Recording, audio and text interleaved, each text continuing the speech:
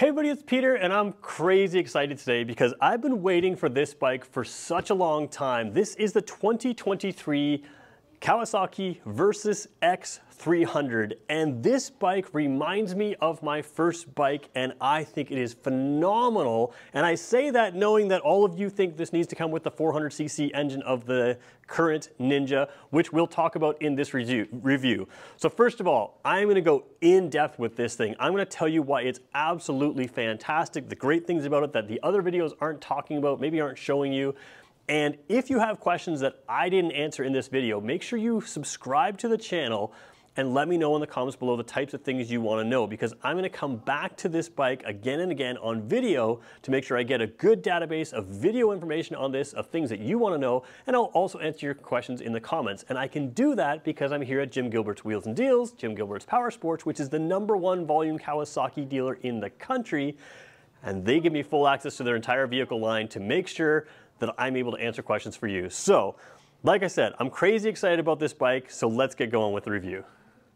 Okay, let's start off by dealing with the elephant in the room. This is the Versys X300. It's based off the Ninja 300. We haven't had a Ninja 300 in a long time, and the Ninja 400 is better. Should this come with the 400cc engine from the current Ninja?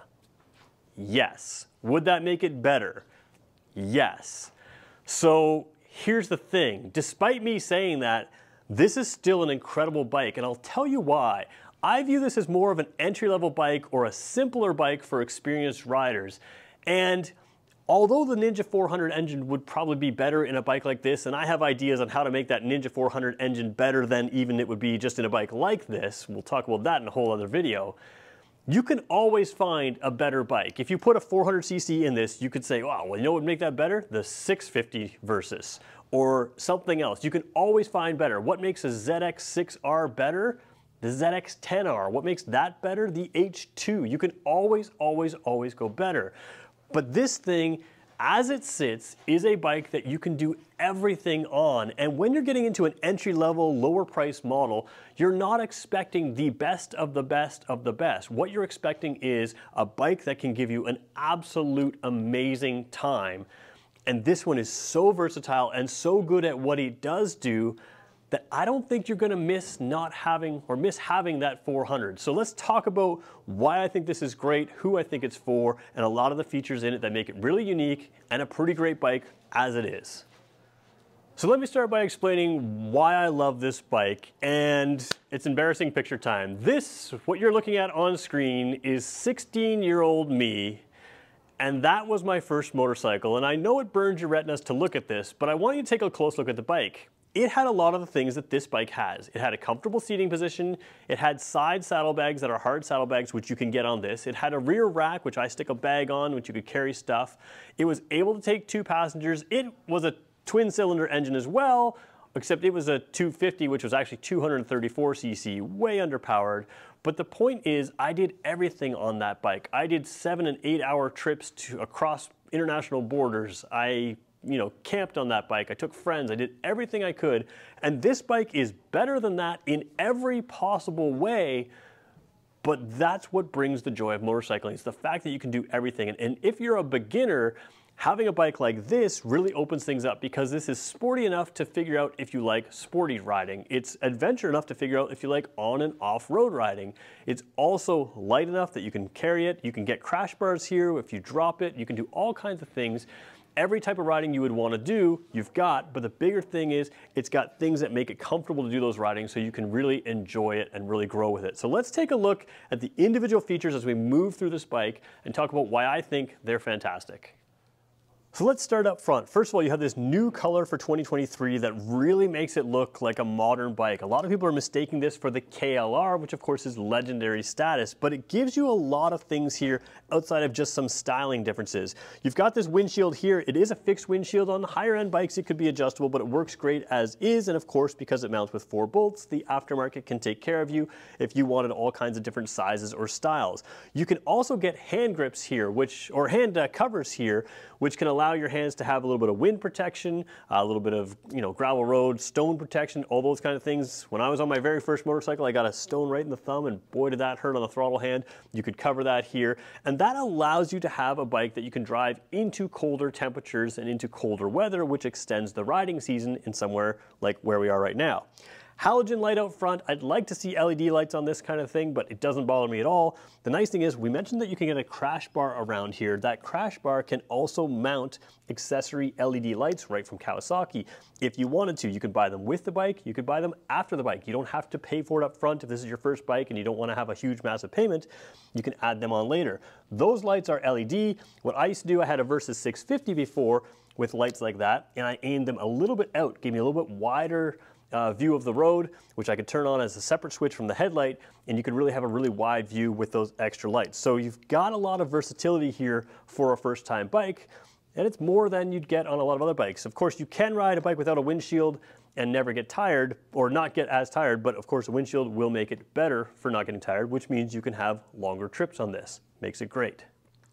So now let's take a look at the front wheel here you have a 19 inch wheel. Traditional sport bikes are 17 inches in diameter. This is 19. So it's a little bit more of an off-road friendly wheel, but it's not so huge like a 21 inch wheel of some of the other bikes that, you know, kind of throws things off and makes it so fully dirt focused. This will feel completely road friendly on the road. We'll talk about the tread in a little bit here, but let's just look at what we've got here. So you have a very large 29 or 290 millimeter, 29 centimeter uh, disc across here. It is ventilated. It is petal style. Now the petal style is probably more styling but in theory that helps uh, take away some heat while you're braking. My first motorcycle had drum brakes front and rear. These are lighter weight. These are, of course, way better as far as braking power. And of course, you have the ABS here. So you can see the ABS ring here. So ABS brakes front and rear. I really encourage you to get that if you can on your first bike especially, just because as you're learning to brake an emergency brake, if you pull too much front lever, you put too much um, you know, on the brake pedal as well, you can have a situation where you've locked up a wheel and then you're in trouble. So this will help you prevent locking up the wheel. Obviously, you don't want to use the ABS as a crutch. It should be something that kicks in because you know, you've done something wrong, not something to rely on as a riding aid, but it is something that can help keep you safe. The other thing that's really nice here is you have spoked wheels. Now, a lot of time we don't talk about spoked wheels. You can see every dirt bike we sell has spoked wheels. They are stronger than the alloy wheels. So these are still lightweight wheels, which is what you want on a street bike, but they are very strong with these um, extra, with the spokes in there. And that allows you to go a little bit more off-road down some poor roads. And the thing that's great about this is the tires aren't fully off-road. This is not a KLR or a full-on dual sport dirt bike. These are still capable of going down gravel roads, dirt roads, other things like that. And the tread is perfectly fine for that. But it allows you to go down rougher roads and all these side roads that maybe you wouldn't consider on a bigger bike that's harder to maneuver. This thing's super easy to maneuver and you can literally go anywhere. If you're going camping, all those rough roads there, not gonna be a problem for your front wheel. So now let's talk about the engine here. This is a twin cylinder. A lot of its competitors are single cylinders, but it is a twin cylinder engine and it is a high revving engine. Redline is 12,000 RPM on this. Now, if you're concerned about high revving engines, I'm gonna link a video in the description which talks about why high revving engines are not a problem. It's a video I made, it's about five minutes long. It's well worth watching if you're considering this bike. And again, that twin cylinder engine matters for that high revving. Again, if the competitors are single cylinder, they can't rev as high, and they'll try to tell you that it's a problem. It's just not a problem. The cylinders in this the stroke, so how far the cylinders move, is less than five centimeters. That is minuscule and when your cylinders don't travel a long distance, they can be higher revving. Here's a picture that I took of uh, how far those cylinders actually travel. So you have cylinders that just really don't travel a long distance, which is what can allow it to be a high revving engine. High revving engine helps with horsepower. Now they've done things to add torque on this engine as well. It's not a huge torquey engine, uh, but again, it's not designed to be a dirt bike. It's designed to be an on-road bike that's capable of going on rougher roads. And you see the design here of the, the, pipes, including this little crossover pipe, they do that to help build torque in the mid-range. So where you're gonna be driving this, you know, in this case, mid-range is still fairly high revving, but it, they've done things to build torque to make this a really drivable, easy to use engine. So some people think it's weird to have a high revving engine, but this works very well. The other thing I like is this is liquid cooled. So this is a fully modern engine. The first bike that I had was air cooled. I remember getting stuck in traffic on a hot day and you could just feel that motor roasting. This engine is going to take care of itself with the liquid cooling. You know, it's going to make sure that it keeps a consistent temperature, which is going to give you consistent and better performance as well. So really good engine here for entry-level bike or, again, even not entry-level, just knowing what it is. It's a very good engine for what it is. Going to take a look at the rear wheel here quickly. You can see this is that tire tread I was talking about. It's a very well curved uh, tires here. It's not all the knobbies, so it's going to give you that smooth ride over the road. It's going to be great in wet weather, but it's also going to be good in rougher roads, gravel roads, those kind of things. It's not designed to be a knobby where it's just whipping down trails, but any road you're going to go on, including an unpaved road, that's what this tire is made for. So you want something that's going to give you the grip you need on the road, but you also want something that's going to be good, you know, as you venture off the paved roads and that can do that here. ABS and disc brake back here as well. Again, we mentioned my first bike, that drum brake on the rear. Really, really great brakes here for uh, a newer, smaller bike. Take a look at the opposite side here, the kickstand side of the bike. You can see you've got your shifter, your uh, you know rubber mounted uh, or rubber covered uh, foot pegs there. All that's to deal with vibrations. Again, a 300cc is going to have more vibrations than a top level a top level adventure bike, but it's really not a problem. If we're nitpicking about vibrations, we're probably sitting there spoiled by modern technologies. This is a fully modern bike that is really nice to ride, especially when you compare it to other types of bikes out there. What's cool up here is you can see this is a six-speed transmission. It says 1, N, 2, 3, 4, 5, 6. It lists exactly how your shift pattern works here. A six-speed transmission is important on a small engined bike because you want to be able to use all those gears. And the other thing is these smaller bikes, you really get the experience of zipping through the gears and having some fun. It makes it more fun than a huge bike where, you know, first gear or second gear gets you to 100 kilometers an hour. Here you're using your transmission. It's fun to use. It makes it more fun to drive. It's why people like driving manual transmission cars. It's snicking through the gears. Same sort of thing here. You can go through those gears and have some fun. So let's take a look at the dash here. You can see that 12,000 RPM red light. When we turn it on, you get that full sweep of the tach, full uh, digital display coming to life. Now this is pretty cool too. Again, my first bike, it didn't even have a tachometer. It just had a little line by you know the speedometer showing you roughly when to switch out of one gear to the next. It was kind of a weird thing. This bike, you can really get your power from like 6,000 RPM up, so you're gonna be revving it. Again, we've talked about why it doesn't really matter to have a high revving bike when the cylinders are traveling such a short distance on a smaller bike. And because it's a twin cylinder bike, you have smaller cylinders uh, that can move quicker than a single cylinder with the same displacement that can't move as quick. So revving is not an issue. It just takes a while to get used to your brain seeing the bike go from 6,000 to 8 or 9 or 10,000 RPM. It's just different to do. Uh, obviously, you have some power down low, but you're really going to live in that mid to upper range uh, as you get up to speed, and it's fine really nice to have as a gear indicator, especially if you're a new rider. As you're getting used to what gear you need to be in in certain situations, the ability to glance down and see what gear you're in really matters. It really makes things uh, easier for you. Up top, you've got an odometer. We'll go through the cycle there, speedometer there, and you've got some information down low. What you can't see on the edges here is there's a fuel gauge there, and there is a um, little uh, temperature gauge right there, which again, the bike is off right now. There's some warning lights here as well, ABS, neutral light, and a neutral light's kind of hidden there, and a check engine light. Again, we have the vehicle off. It's not, it's turned to the on position, but it's not running. So let's cycle through some of these things. Up top here, you've got odometer, like we mentioned, trip A and trip B and back to odometer. And down low, you've got, currently it's listing kilometers per liter. I believe you can switch that to liters per 100 kilometers if you wanted to. That is your instant reading right there. And if I hit the button here, that's your average mileage as well. So kilometers per liter right now. And then you have your range, so distance to empty. So that is calculated based on uh, how you have been driving. So range, and it's a 17 liter fuel tank. For a small engine, that's a lot of range. And again, that all makes it better for that sort of adventure style uh, riding that you might want to do. You can go off the beaten trail. You don't have to be near your gas stations all the time. Let's zoom out just a little bit and look at some of the accessories you can mount to the dash here. All right, I've got on the side stand right now, so the handlebars might move, so I am holding the handlebars here. But you can see you got the ignition key in the center there. You've got a little dummy switch there and a dummy uh, spot right there. So this is going to be for a 12 volt or USB port. You can have that installed right from a Kawasaki accessory. Again, if you want to do it at, when the bike's new, you can get it built in right away. If you want to do that over time and add it later, you can. And it's in nice proximity to your handlebars here, which are just off camera. Uh, round handlebars, you can mount a GPS, you can mount your phone, you could keep it charging the whole time if you wanted to. So just kind of good good proximity. And then over here, is if you were to mount those LED fog lights on this bike, you can put the switch in right there. So really clean mounting area for all those kinds of things. You don't have to kind of figure it out. It's all set up and ready to go. Uh, a lot of it's just plug and play from the dealer here. Super simple stuff. Now let's take a look at some of the controls because you've got good controls for an entry level bike here. Left side control, couple things worth noting. First of all, you have a little trigger area right here. That will flash your high beams when you're driving so you can get sort of grab people's attention, sort of a flash to pass feature. If you want to lock those headlights on you, or the high beams on, you can do that. You do have four-way flashers, which I find to be really helpful on this style of bike. You're going to travel long distances on this bike, or at least you're capable of traveling long distances. Sometimes you need to stop alongside a road, adjust some gear, grab some gear, grab what you need. Uh, and there's not always a great place to stop, and uh, or even just figure out where you're headed, readjust the GPS or something like that. So to have uh, four-way flashers is nice, signal lights, and um, horn are right there.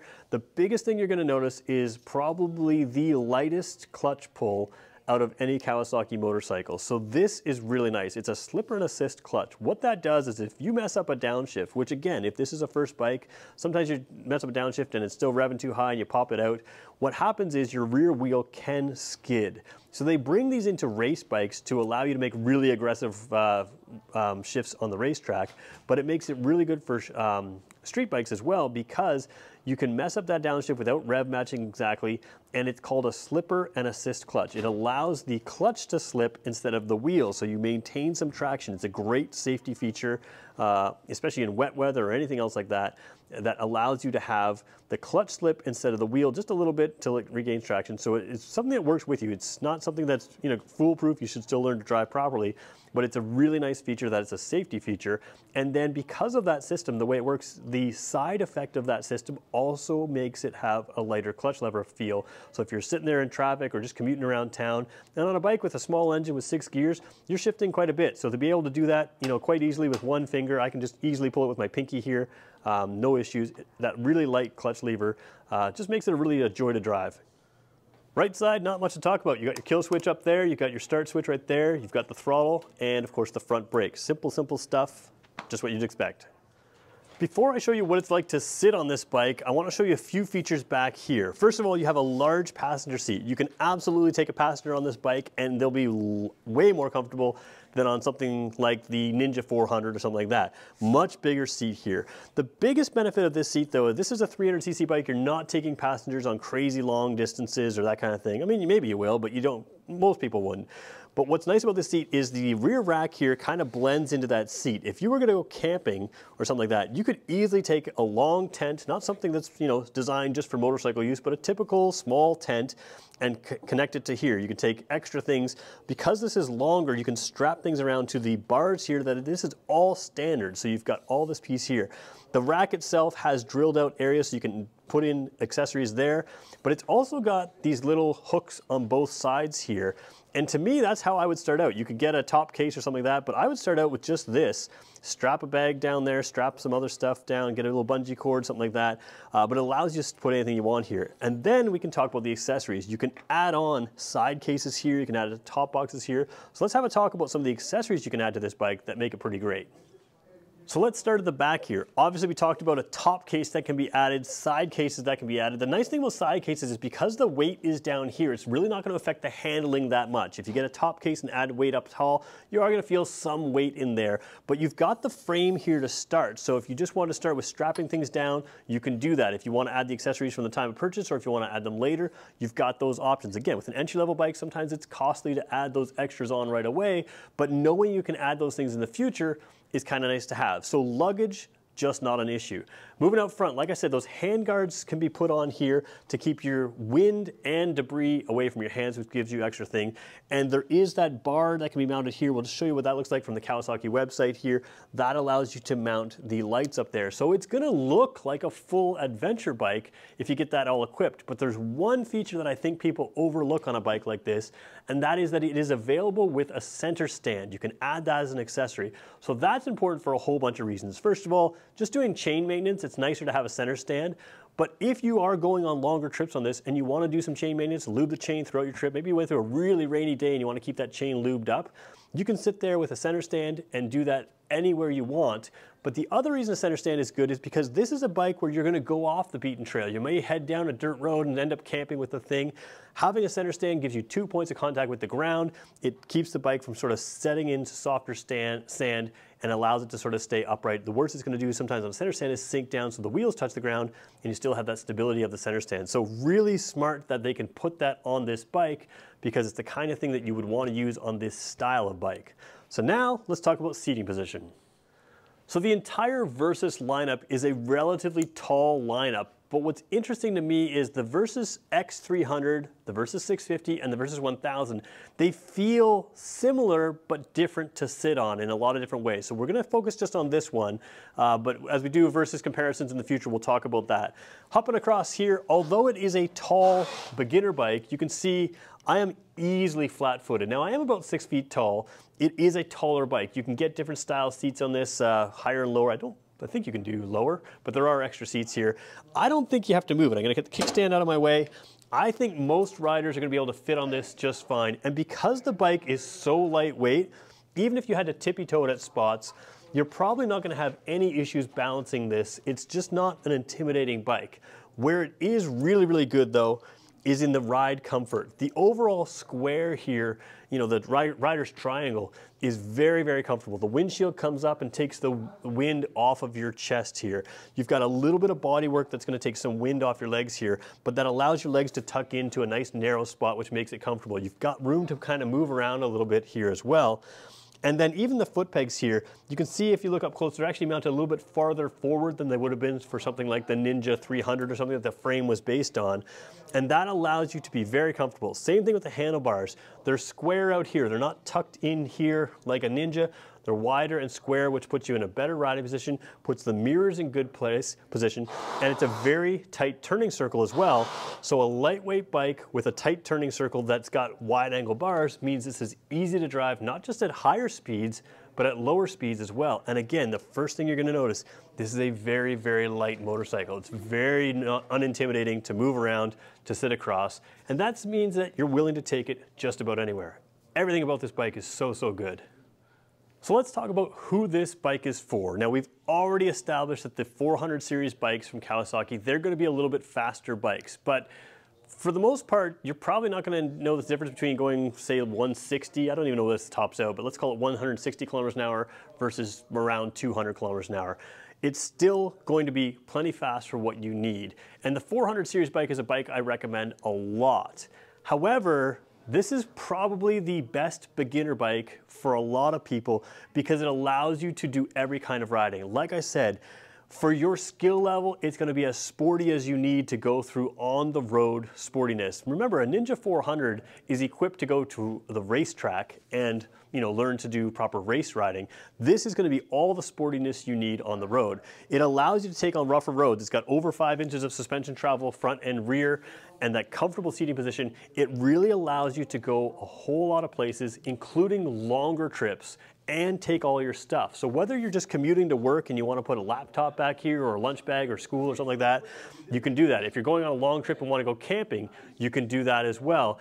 And it really allow, allows you to discover the types of motorcycling that you want to do. If you got something like a Z400, it's going to limit you a little bit compared to something like this, which can do more. And to me, the joy of motorcycling is having a bike that can do everything. I would love to have this as a second bike to my Z900 RS because it allows me to go down places and roads that's a little easier. Not just because it's got the tires and the suspension travel and the upright seating position and the weather protection, but because it's so lightweight. If I screw up on a bump or I get a little nervous, I don't have to fear this. I can pick it up if I ever dropped it, but it's also not something you're likely to drop because even if it leans a long ways over, you've got the strength to bring it back up.